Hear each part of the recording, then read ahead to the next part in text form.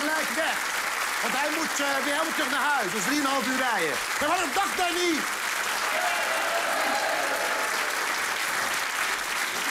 Ehm, afgelopen week zijn er weer orka's gesignaleerd in de Noordzee. En er is een eh, vereniging, de Orca-coalitie, die denkt dat het misschien gaat om de familie van Morgan.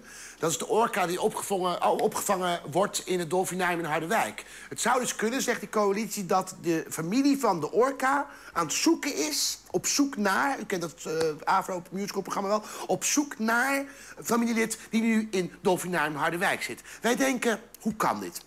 Heel erg applaus eerst die van de Orca-coalitie, Wietse van der Werf.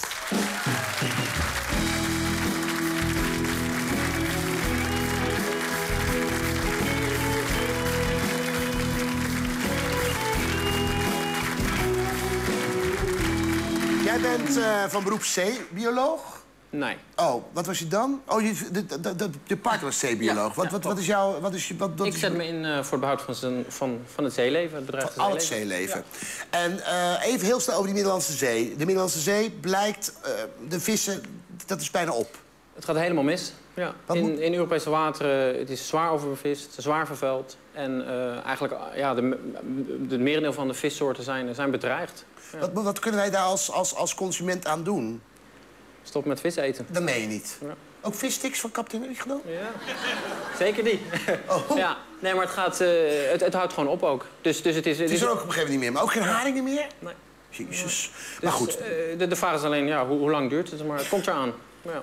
Maar gaat het binnen 10 jaar, of binnen 5 jaar, of binnen 60 jaar? Nou, er wordt op dit moment gezegd dat er waarschijnlijk in, in, een, in 30, 35 jaar geen eh, grote vissoorten meer eh, in de zee zullen zijn. maar dan hebben we tenminste wel aliens, want daar gaan we het zo meteen over hebben. Die kun je ook eten dan, hè? Even over die orka. Die orka, hoeveel maanden is hij nu in Harderwijk? Tien maanden. Morgen. Ja, tien maanden in de noodtank. Ja, en hij is daar, eh, hij is daar neergelegd en hij komt niet meer de wijde wereld in. Waarom niet? Omdat ja, het dolfinarium zegt dat ze haar familiegroep niet hebben kunnen vinden.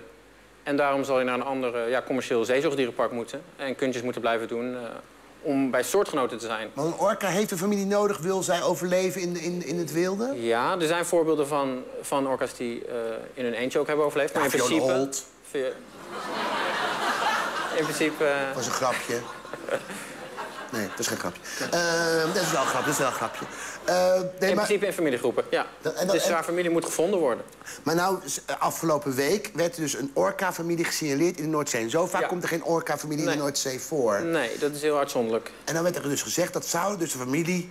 Van, dan denk ik, ja, zou die familie dan een tom-tom hebben? Die, die familie weet toch niet dat, dat waar ze naar Orka's, Noorderwijk... orka's die migreren over duizenden mijlen. Die kunnen met hun sonar over enorme afstanden communiceren. En het is heel normaal en gebruikelijk dat orka's ook terugkomen langs bepaalde migratieroutes waar ze eerder zijn geweest. Nou, deze orka's zijn nu bijna een jaar later op bijna dezelfde plek waar Morgan is gestrand, komen ze opnieuw terug.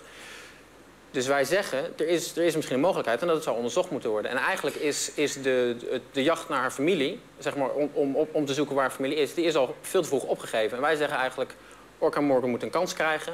En zeker nu die dieren dichter bij de kust zijn. Zijn ze er nog, die dieren? Die zijn nog in het gebied, ja. Maar zou dan morgen, als je hem uitzet, eh, bijvoorbeeld vanavond of morgen... dan gaat hij gelijk, als er nou niet de familie is, wat, wat gebeurt er dan? Als familie denkt, nou, die moeten we helemaal niet bij ons Ja. hebben. Nou kijk, eh, wat je kunt doen is een stappenplan waarbij je eh, er in een zeekooi hebt en er, en er probeert uit te zetten. En als zich niet aansluit bij de groep, dat je dat dan later bij een andere groep opnieuw kan proberen. De vraag is, geef je haar die kans? En als je haar die kans... geven ze die, Ja. die kans? Op dit moment niet, helemaal niet. Uh, Dolfinarium zegt, ze kan niet uitgezet worden. We hebben haar familiegroep niet bij de eerste poging gevonden.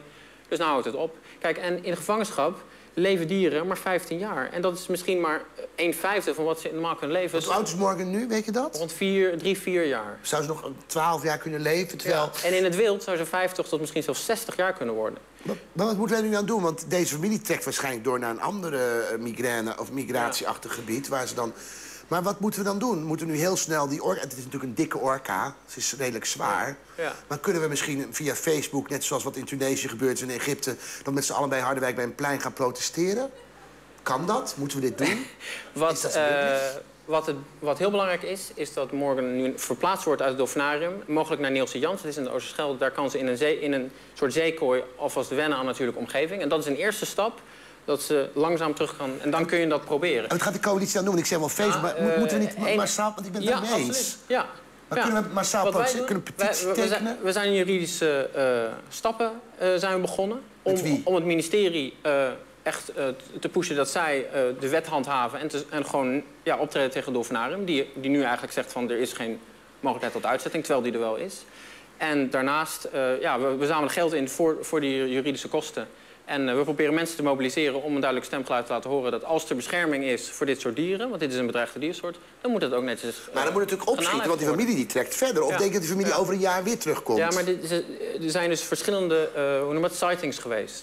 Dus het is niet één keer dat die groep is gezien. Dit is dus blijkbaar een groep die mogelijk Die ook het weer terugkomt. echt is. Ja, dus ook in de toekomst, eh, ja, er moet gewoon ook zo snel mogelijk moeten er geluidsopnames gemaakt worden, mogelijk DNA afgenomen. En dan kunnen we dat vergelijken. En, en dan, ja, werk aan uitzetting betekent dat we, ja, dat we echt op zoek moeten naar familie. Nou, Nou, ik vind het ook terecht dat eh, Morgan weer teruggaat naar waar hij hoort, bij zijn eigen familie.